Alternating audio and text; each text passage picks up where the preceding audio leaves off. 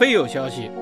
美国的海王星航空服务公司准备改装一批空客 A 三幺九一百型灭火飞机，估计会有十五架左右。这批飞机最早或许在二零二六年投入使用，但全部到位需要八到十年。美国和加拿大经常发生野火，在这些国家，扑灭野火不仅是政府的责任，也是私人企业的商机。如果被政府或者农场主喊去灭火，通常有可观的收入，但条件是技术必须过硬，必须击到火灭，不然下次就没有生意了。这种方式比政府自购灭火飞机不仅节约了大量的资金，而且通常情况下比较高效。美国和加拿大有多家公司将各种飞机改装为灭火飞机，包括 DC 十、波音七四七、CRJ 和 Dash 八等。规模较大的公司有美国的空中辩论，有十九架飞机，还有美国的十个水罐，有四架大型的 DC 十灭火飞机。海王星此前是使用 BA 一幺四六灭火飞机，它每次能够载水或者是阻燃剂约十一吨，能力稍微差一些，而且飞机逐渐老旧了。空客 A 三幺九毕竟是干线飞机，更换为 A 三幺九之后，估计每次可以载水十七吨。比 BAE 幺四六提升了近百分之五十。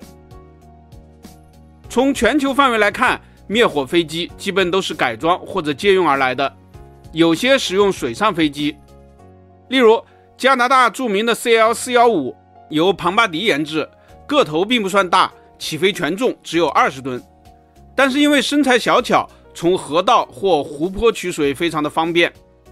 每五到十分钟就能往返一次火场，效率很高。再比如俄罗斯的别两百这款飞机本来是作为客机研制的，但在灭火工作中大放异彩，在全球四处救火。有些则是像美国这样使用任何合适的飞机进行改装，毕竟野火不是每天发生，专门研制的话不太划算。飞机灭火的特点是快，能够在火势开始蔓延之前迅速赶到火场控制局势。希腊的很多山火都是刚刚发生不久，就由飞机赶到控制，然后再由地面人员前往清理。比起人海战术，可以有效的减少伤亡。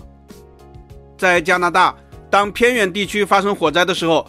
甚至干脆派 CL 四幺五直接前往浇灭，都不动用地面消防车。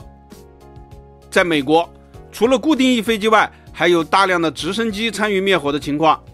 直升机更加灵活。除了灭火，还能担负起救援的任务。